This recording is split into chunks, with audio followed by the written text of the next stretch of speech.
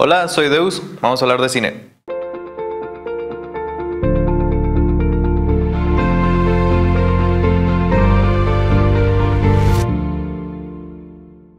Blancanieves y los siete enanitos, además de ser una proeza en el campo de la animación de largometraje, fue la película más taquillera de 1937, lo que dio inicio a una carrera por parte de los demás estudios de conseguir su propia historia de fantasía.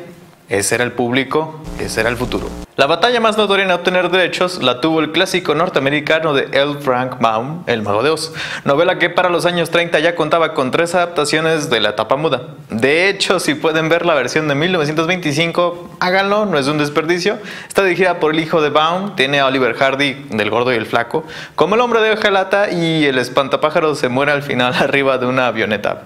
Una adaptación súper fiel. La batalla por el Mago de Oz terminaría ganando la MGM, otra vez la del Leoncito, con una oferta de 75 mil dólares a cambio del uso de los libros por aproximadamente 5 años, una compra generada por el director del estudio Louis B. Mayer, influenciado por Mervyn Leroy, quien veía esta como la mejor oportunidad de adaptar el libro de sus sueños, para la cual no se escatimaron recursos. El presupuesto del Mago de Oz sería de 2 millones de dólares, la producción más cara del estudio de Leoncito hasta ese momento. Y como de costumbre, cada domingo la película de la que les hablo no fue fácil de realizar.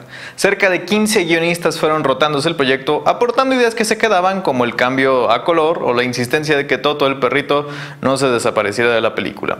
Esta rotación también llegó al encargo de los directores, los cuales empezaron por el propio Mervyn, que desistió cuando se dio cuenta de que tenía que ser productor y director al mismo tiempo. A él se le sumieron Norman Turrock y Richard Thorpe, el cual solo llegaría a grabar unas semanas tras ser despedido por Mervyn porque no daba el ancho y aprovecharon el envenenamiento de Buddy Epson, el hombre de hojalata original, a causa de una alergia al polvo de aluminio que usaba como maquillaje. En medio de la desesperación, gracias a que MGM buscaba cancelar el proyecto, Leroy se acercó a George Cukor, quien tampoco dirigiría el proyecto, argumentando compromisos con el otro proyecto enemigo de ese año, aquel que David O. Selznick estaba realizando también como un capricho, lo que el viento se llevó. La gran ironía es que el director final del Mago de Oz terminaría siendo Victor Fleming, el director que enseguida de arreglar el proyecto también terminaría arreglando lo que el viento se llevó de manera casi momentánea y a quien debo remarcar como uno de los directores que merecen más respeto, ya que en 1939, el año del cine por parte de historiadores y cinéfilos, es gracias a este señor. El Mago de Oz es muy difícil de explicar. Vive en un monte sagrado porque su impacto tecnológico y de producción va de la mano con la experiencia cinéfila. Creo que el punto en donde más se ejemplifica esto es en la secuencia posterior al tornado.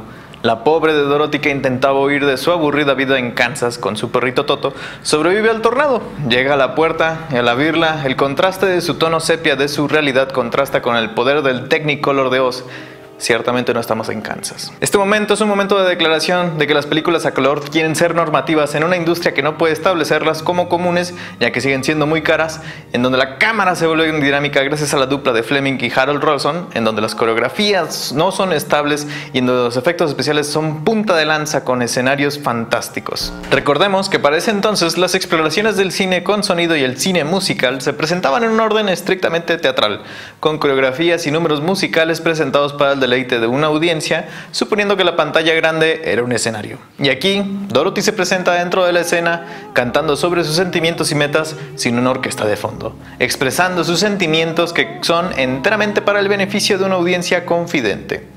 Y no dejó de pensar en Dorothy, la niña de ojos lacrimógenos a la que conocimos muchos como infantes y que se volvió confidente de nosotros, con la que conocemos grandes amigos que tienen un vacío dentro de sus vidas al igual que ella, con la que nos asustamos en grupo tras la llegada de una bruja que le impone situaciones incongruentes para una niña de su edad y la cual termina salvando el día, la que decide que a pesar de todo lo que es maravilloso en este mundo, no puede abandonar a su tía porque podría morir de un corazón roto.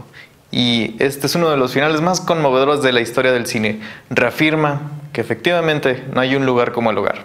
Pienso en Dorothy y pienso en Judy Garland, aquella jovencita de 16 años que el estudio no dejaba de decirle fea, gorda, que la tenían una estricta dieta de ensaladas y 30 cigarros al día, a la que abofetearon por reírse y que era ninguneada por los demás compañeros del equipo, la que terminó siendo amiga de Margaret Hamilton, la bruja que originalmente era su enemiga en la película, y la que durante el estreno del Mago de Oz tuvo que bailar y cantar tres veces por día y siete durante los fines de semana por un contrato que la explotaba.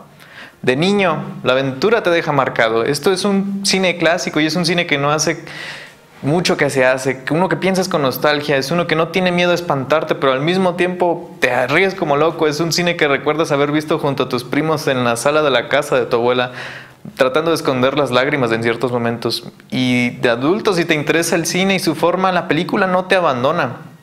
Sigues cautivado por la magia técnica y por su forma, pero también te das cuenta de que esos ojos tristes de esa pobre niña cobran sentido.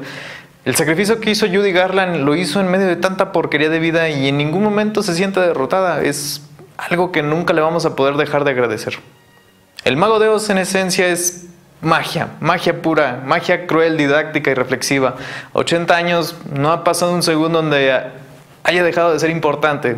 Es una obra maestra. Muchas gracias.